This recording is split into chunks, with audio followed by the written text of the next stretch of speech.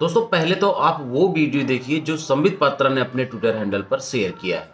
तो कोई कह रहा था मिट्टी की तेल भी इस्तेमाल हो रही है? मट्टी के तेल तो बहुत दिन आते हैं अब आ ना रहे बंद है वो भी बंद है। गैस से सब काम होते हैं। दोस्तों इस वीडियो में समित पात्रा आपको क्या समझाना चाहते हैं? अपने ट्विटर हैंडल के माध्यम से इस वीडियो को शेयर करके वो लोगों को क्या बताना चाहते हैं आप समझ ही गए होंगे। दरअसल प्रियंका गांधी जब महिला से पूछती हैं कि ये काम चूड़ी जोड़ने का काम तो मिट्टी के तेल से भी हो जाता होगा तो महिला का जवाब आता है कि मिट्टी का तेल तो अब आता ही नहीं है, अब सिर्फ़ गैस से ही ये सारा काम होता है। इस वीडियो को शेयर करके संबित पात्रा लोगों को यही बताना चाहते हैं शायद कि ये महिला जो है, ये एकदम संपन्न है और ये मिट्टी का तेल नहीं, गैस का इस्तेमाल कर रही है और मिट्टी का तेल गायब कर दिए जाने से, मिट्टी का तेल मार्केट में नहीं आने से इसको कोई दिक्कत नहीं है। संबित पात्रा ने इस वीडियो का सिर्फ़ वही छोटा सा क्लिप शेयर किया आपके साथ, जिसमें ये महिला ये कह रही है कि मिट्टी का तेल अब नहीं आ रहा है, इसलिए हम लोग सारा काम गैस से ही कर रहे हैं। लेकिन गैस से करने की मजबूरी जो महिला आगे बताती है, वो संबित पात्रा नहीं शेयर करते हैं आप सबके साथ। तो पहले आप वो वीडियो देखिए जो प्रियंका गांधी ने अपने ट्विटर हैंडल पर शेयर किया है। आपको ये देखना चाहिए, छोटी सी क्लिप। ऊपर। और ये नीचे गैस है? हाँ नीचे जो गैस सिलेंडर लगा ही नहीं है। हाँ तो सिलेंडर तो बहुत महँगा हो गया है। और हज़ार रुपया है गए। फिर? अब कहाँ करे काम करेंगे तो ला नहीं सकते हम तो लोग तो तीन रुपए इस तोड़े के लिए। हम्म, कहाँ करे बहन जी बच्चा है दिन में कितने कर लेती हो? दस पंद्रह बीस ज़्यादा ज़्यादा कर तो लेते हैं पैंतीस रुपए हम्म, गैस ही इतनी महँगी है क्या करे?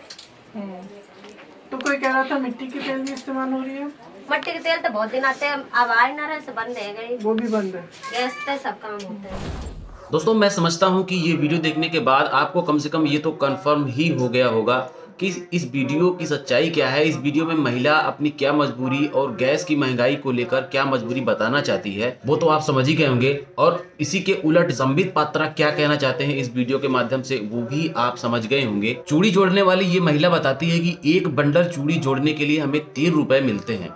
और दिन भर में 10 15 से 20 बंडल हम ये जोड़ पाते हैं, यानी कि कुल बिज़नेस उसका 30 से 35 से 40 रुपए का होता है।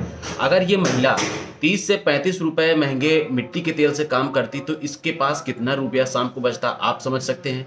और अगर ये महिला इसी काम को, जो 30 से पैंतीस, चालीस रुपये में दिन भर में कमाती है वो अगर इतने महँगे गैस सिलेंडर का इस्तेमाल करती है तो उसके पास क्या बचेगा? आप खुद जोड़ घटा लीजिए।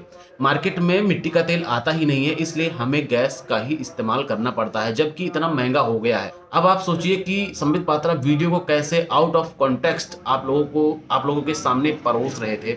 जो वीडियो का जो कॉन्टेक्स्ट है, जो उसका सारांश है, संबित पात्रा उसको ही बदल दे रहे थे। महिला अपनी मजबूरी बताना चाहती है, लेकिन एक जगह का एक क्लिप शेयर करते हुए संबित पात्रा महिला को संपन्न बताते हुए प्रियंका गांधी और कांग्रेस पार्टी का मज़ाक बनाना चाहते हैं। लेकिन दोस्तों, आप ये बेहतर तरीके से समझ गए होंगे कि दरअसल संबित पात्रा कांग्रेस पार्टी का मज़ाक बना रहे हैं या फिर जनता का मज़ाक बना रहे हैं या फिर इस महिला का मज़ाक बना रहे हैं जो अपनी मजबूरी लोगों को बताना चाहती है। लेकिन संबित पात्रा उसकी छोटी सी क्लिप का इस्तेमाल करके, उसका वीडियो को मैनिपुलेट करके लोगों को कुछ और समझाना चाहते हैं। संबित पात्रा की इस चालाकी पर अपनी प्रतिक्रिया में कांग्रेस प्रवक्ता डॉक्टर रागनी नायक, संबित पात्रा की एक तस्वीर जिसमें संबित पात्रा एक महिला के साथ बैठे हुए होते हैं, जो वो खाना बना रही होती है चूल्हे पर। इस तस्वीर पर डॉक्टर रागनी नायक लिखती हैं, उज्ज्वला योजना का भांडा तो आप ही ने फोड़ा था। पहले यहाँ तो गैस पहुँचवा देते।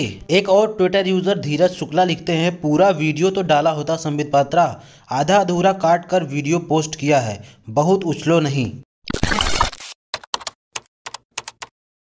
एक लाइक सच्ची पत्रकारिता के लिए और ज़्यादा प्रोत्साहित करता है इसलिए वीडियो को लाइक ज़रूर करें।